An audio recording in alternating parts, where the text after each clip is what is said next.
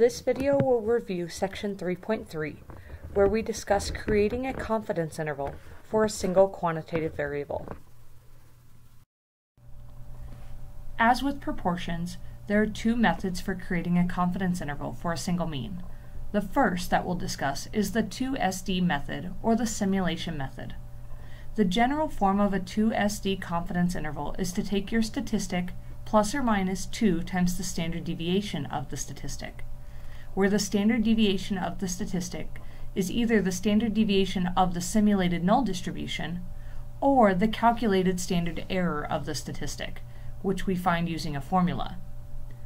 For a single quantitative variable, the statistic is the sample mean, x bar, and the standard error of the sample mean is found by using s, the sample standard deviation, divided by the square root of n, the sample size. Therefore, the 2SD formula for a single quantitative variable is to take x bar plus or minus 2 times s over root n, or x bar plus or minus 2 times the standard deviation of the bootstrap distribution. Recall that the null distribution for a single mean was simulated by first shifting the data, then bootstrapping or sampling with replacement from the shifted data, and that the shift did not impact the standard deviation of the sample, and therefore would not impact the standard deviation of the null distribution. That means technically we can simply bootstrap the original sample to get an estimate of the standard deviation of the sample statistics, meaning no shift in the data is needed. Review the bootstrapping video if you need a refresher on this simulation method. Be sure to note that this method only gives an approximate 95% confidence interval. Statistic is always calculated using the standard error formula. For a single quantitative variable, that means we should use the formula x bar plus or minus a multiplier times s over the square root of n.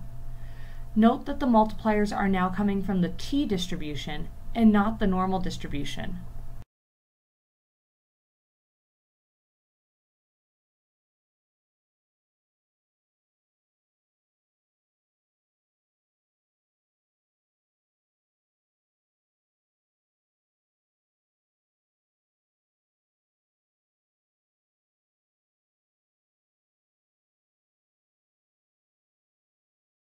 Recall that the t-distribution is just a bit wider than the standard normal distribution, as discussed in the section 2.2 video.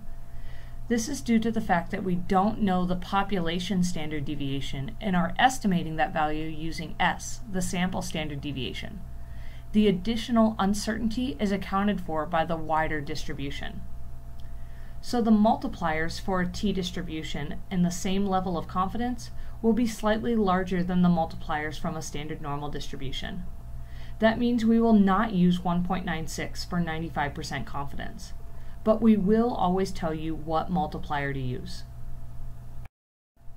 The validity conditions for theoretical methods have not changed, so we will still check that the distribution of the sample is relatively symmetric or that the sample size is at least 20 and the sample distribution is not strongly skewed.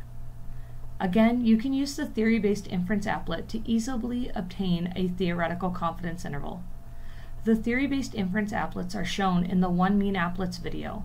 You just need to select the box for confidence interval and enter your uh, required confidence level instead of selecting the box for test of significance. Be sure you know how to calculate the standard error and confidence interval by hand, as you will be expected to do this on an exam or assignment.